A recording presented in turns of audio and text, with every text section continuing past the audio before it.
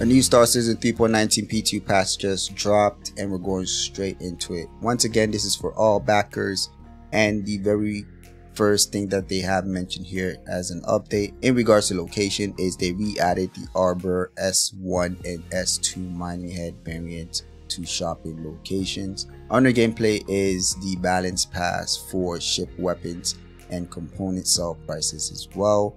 Before we move forward, I'd like to new people to know that we're doing a giveaway for the month of May this time is the game package 4100i. In order to participate, you got to be subscribed and leave a comment in any video between the month of May. Let's move on. Under bug fixes, it says the Ursa rover can sometimes spawn under the garage and prevent prisoners escape.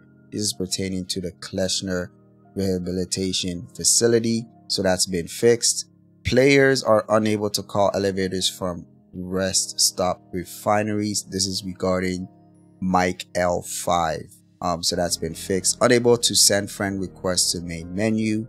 And um, so that's been fixed. Replace me ball at Lorville Hospital rooftops. That's been fixed.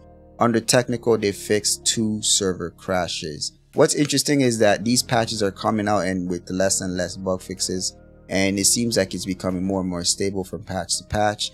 It's possible that we may be getting a release candidate very soon because for the past couple patches it's been pretty stable and I have actually been enjoying the patch. You guys already know what to do. Leave a like, subscribe. I'll see you on the next video.